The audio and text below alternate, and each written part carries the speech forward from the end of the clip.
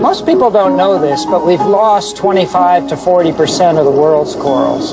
And if you wonder if that'll make a difference or not, you should ask yourself, do you like to breathe?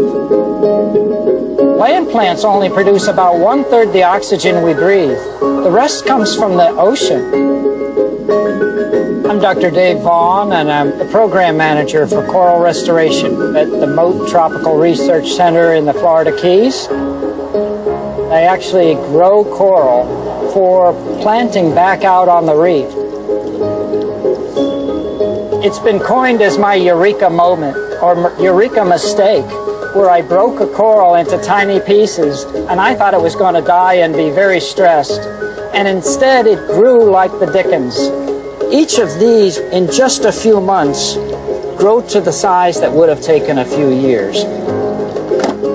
It was after that accident that I knew that we could restore reefs, and it was really a new lease on life and a new brightness of what this whole career in coral research could do. This is what I'd like to call the ocean simulator. So we can actually simulate what the water will be like 100 years from now so we can try to forecast which of these corals are still going to be winners and utilize the ones that we know will be better adapted in the future to those conditions. I always wondered how long it would be that I'd still be able to dive. Now I know you can dive as long as you want. Oh, you're never too old to dive.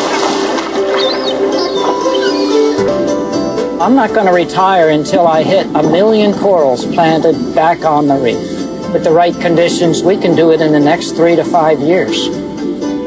People think that we've ruined this planet by technology, but with technology, we can bring it back.